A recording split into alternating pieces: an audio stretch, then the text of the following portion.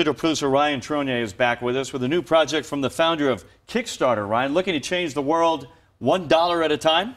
Yeah, a new project is funding charities, giving nonprofits a dollar a day from a network of donors just like you and I. It's, it's called Dollar a Day, and the project comes to us from a Kickstarter founder, Perry Chen. Let's see how this thing works. Every day, a different charity is featured, and as a member, you automatically donate one dollar to the charities uh, to the day's charity. The project favors organizations that are creating innovative solutions in education, environment, and economic development.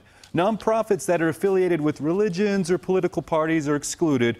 Uh, every 3,000 donors equals over a million dollars annually. Annually, so far there are 536 people registered. Lionel, 30 bucks a month, 30 charities. Yeah. Everybody wins with a nonprofit today. Today's nonprofit is Yes. actually an organization that develops like really kind of like high functioning knee replacements for amputees. It's a great cause. So this takes all the work and hassle out of donating. It's all done for you right there online. Takes it right out. Great idea. Fantastic. Ryan, thanks a lot. Well, a nine-year-old trying to get